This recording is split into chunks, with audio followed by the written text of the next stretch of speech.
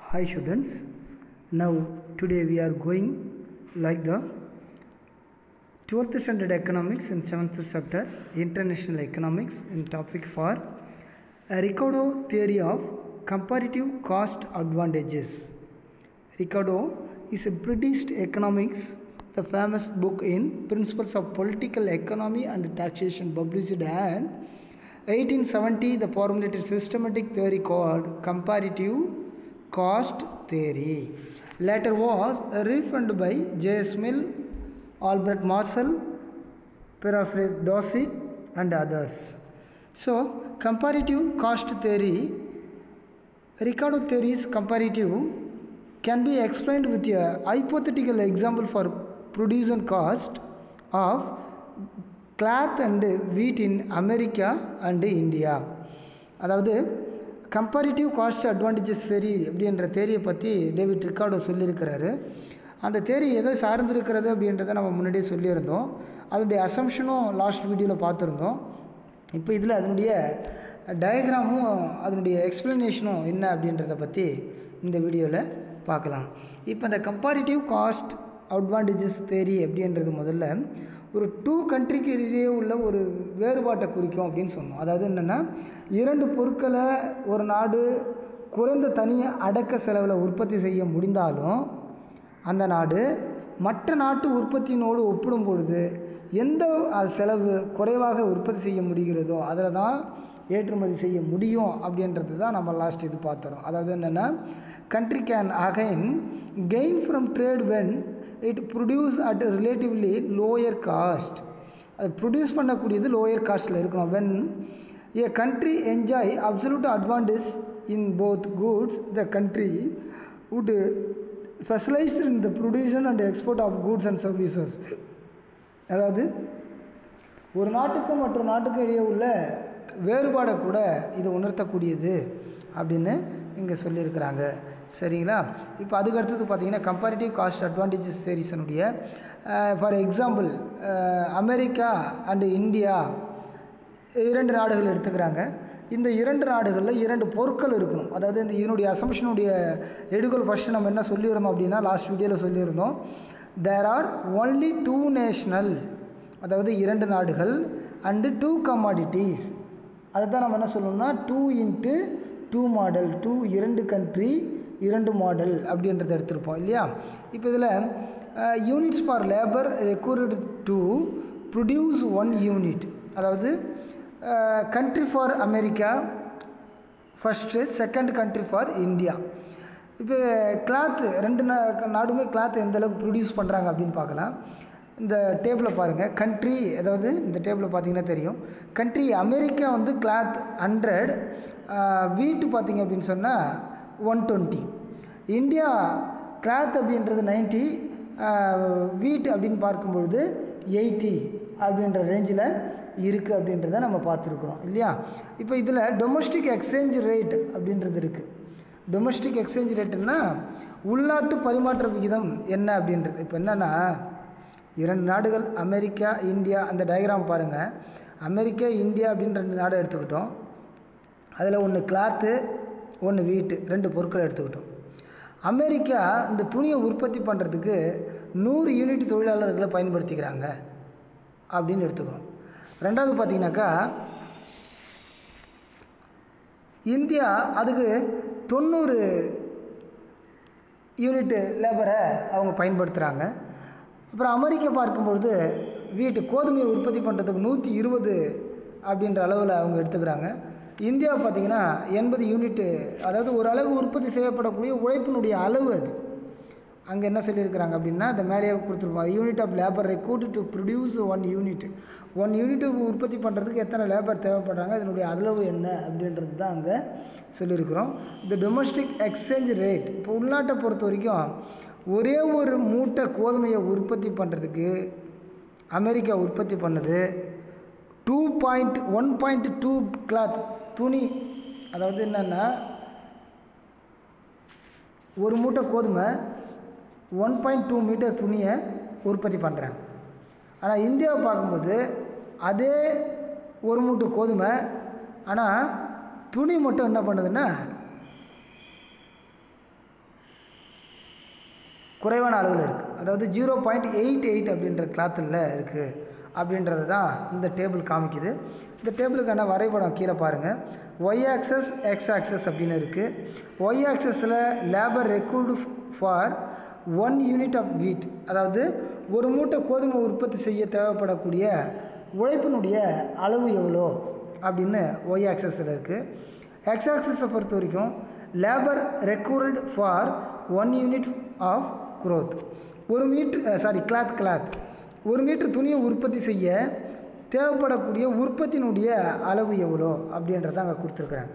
இப்போ இங்கே ப்ளூ கலரில் இருக்கிறது ரெண்டு கர்வ் இருக்குது அதில் ப்ளூ கலரில் இருக்கிற கர்வ் அமெரிக்காவையும் க்ரீன் கலரில் சாரி ரெட் கலரில் இருக்கிறது இந்தியாவையும் குறிக்குது. இந்தியாவை பொறுத்த வரைக்கும் நம்ம மேலே ஷெட்யூல்லே பார்த்துருக்குறோம். இங்கே வீட்டை தயார் பண்ணுறதுக்கு நைன்ட்டியும் கிளாத்தை தயார் பண்ணுறதுக்கு எயிட்டியும் காமிச்சிருக்கு. அதே போல் அமெரிக்கா வீட்டை தயார் பண்ணுறதுக்கு ஒன் டுவெண்ட்டியும் கிளாத்தை தயார் பண்ணுறதுக்கு ஹண்ட்ரடும் அப்படின்ற அளவுக்கு காமிச்சிருக்கு. இப்போ இந்த ஸ்லோப் எப்படி இல்லை அப்படின்றத நம்ம கண்டுபிடிச்சிட்டோம் அப்படின்னா ரெண்டு ஸ்லோப்புமே ஈக்குவலாக இல்லை. ஸ்லோப்ஸ் ஆர் நாட் ஈக்குவலாக இருக்குது அப்போ ரெண்டுமே ஈக்குவலாக இல்லை அப்படின் பொழுது இதில் இரு நாடுகளில் ஏதோ ஒரு நாடுகளுக்கு சாதகமும் பாதகமும் ஏற்படும் அப்படின்றத அங்கே நம்ம சொல்கிறோம். இப்போ உதாரணத்துக்கு எடுத்துக்கிட்டிங்கன்னா இது சிம்பிளாக மேலேருந்து கீழ் நோக்கி வரக்கூடிய ஒரு டிடி போல தான் இருக்குது ஆனால் இதனுடைய எக்ஸ்பிளனேஷனை நம்ம கொஞ்சம் தெளிவாக தெரிஞ்சுக்கணும் அப்படின்றதுனால கீழே அங்கே கொடுத்துருக்குறாங்க பாருங்கள் it is evident from the example for India as an absolute advantages in produce both cloth and wheat அதாவது இந்தியாவுக்கு துணி மற்றும் கோதுமை இரு பண்ட உற்பத்தியிலுமே வந்து முழு பயன்பாட்டு தேர்ச்சி இருப்பது கரெக்டாக தெரியுது.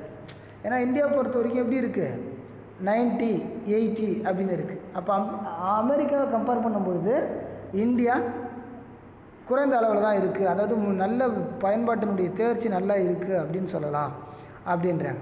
However India should congratulate on the produce of wheat in the which she enjoy the comparative cost advantage India பொறுத்த வரைக்கும் பார்த்தீங்கன்னா ஒன் டுவெண்ட்டிக்கு எயிட்டி அப்படின்னு இருக்குது ஹண்ட்ரடுக்கு நைன்டீன் இருக்குது அப்போ அமெரிக்காவை கம்பேர் பண்ணும்பொழுது இந்தியாவுடைய கம்பேரிட்டிவ் காஸ்ட்டு அட்வான்டேஜஸ் தெரியும் அப்படின்றது பெனிஃபிட்டாக இருக்குது ஆனால் யாருக்கு டிஸ்அட்வான்டேஜஸாக இருக்குன்னா அமெரிக்காவுக்கு அது டி டிஸ்அட்வான்டேஜஸாக இருக்குது அப்போ அமெரிக்கா என்ன பண்ணுவாங்க அப்படின்றத அங்கே நம்ம பார்க்கலாம்.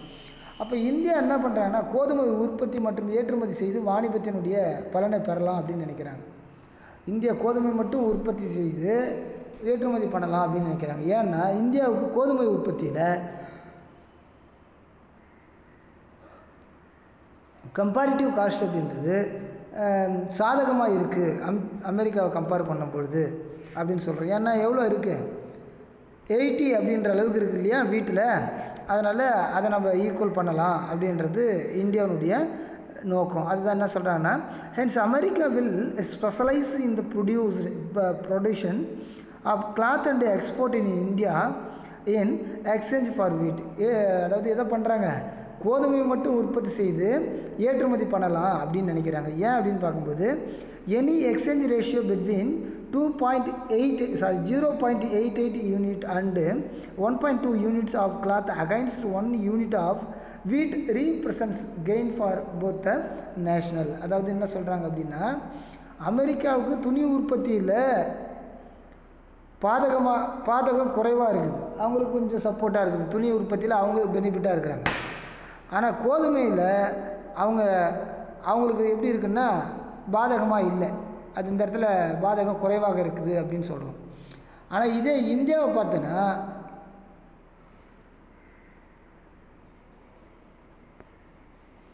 இந்தியா என்ன பிளான் பண்ணுறாங்கன்னா நாம் அமெரிக்காவுக்கு துணியை ஏற்று துணியை வந்து உற்பத்தி செய்து தேர்ச்சி பெற்று இந்தியாவுக்கு அதை ஏற்றுமதி செஞ்சு கோதுமையை நம்ம இறக்குமதி பண்ணிக்கலாம் அப்படின்னு அவங்க கணக்கு பண்ணுறாங்க அதாவது கோதுமை இந்தியாவில் கம்மியாக இருக்குது எயிட்டி அப்படின்னு இருக்குல்ல இந்தியாவிலேயே நம்ம உற்பத்தி பண்ணிக்கலாம். அமெரிக்காவை பொறுத்த வரைக்கும் கோதுமை எயிட்டின்னு இல்லை ஒன் டுவெண்ட்டியாக இருக்குது இந்தியாவை கம்பேர் பண்ணும்போது எயிட்டி இருக்குது அப்போ என்ன பண்ணலாம் அமெரிக்கா அப்படின்னா எதுக்கு நூற்றி இருபது லேபரை வச்சுக்கிட்டு நம்ம கோதுமையை உற்பத்தி பண்ணுறதுக்கு மேலே எண்பது லேபர்களை மட்டுமே வச்சுக்கிட்டு உற்பத்தி பண்ணுற அந்த இந்தியாக்கிட்ட நம்ம என்ன பண்ணணும்?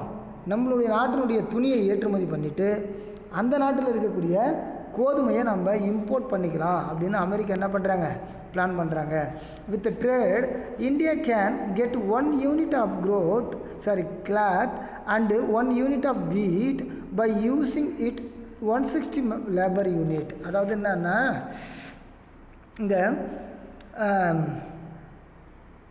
பன்னாட்டு வாணிபத்தில் இந்தியாவும் அமெரிக்காவும் துணி மற்றும் கோதுமையை அவரவர்களே உற்பத்தி செஞ்சால் கிட்டத்தட்ட ஒரு நூ ஒன் செவன்ட்டி யூனிட் லேபர் தேவைப்படும்.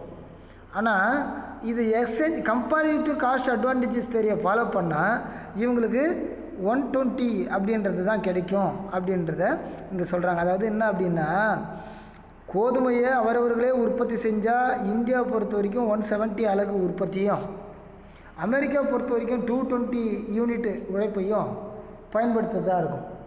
அப்போ இதை இவங்களுக்குள்ளே எக்ஸ்சேஞ்ச் பண்ணிக்கிட்டாக்கா பன்னாட்டு வாணிக அனுமதித்தா கிட்டத்தட்ட எயிட்டி யூனிட் உழைப்பாளர்களை கொண்டு ஒரு மூட்டை கோதுமையை நாம் உற்பத்தி செய்து அமெரிக்கா கிட்ட கொடுத்துடலாம். இந்தியா அமெரிக்கா கிட்ட கொடுத்துட்டு 90 யூனிட் உழைப்பு தேவைப்படுகின்ற அந்த ஒரு மூன்று துணியை என்ன பண்ணிடலாம்? நம்ம வாங்கிடலாம் அப்படின்றது தான் இவங்க சொல்கிறாங்க அதே நேரங்களில் நூற்றி அறுபது யூனிட் மட்டுமே உழைப்பை பயன்படுத்தி ரெண்டு மூட்டை கோதுமையை வாங்கிடலாம்.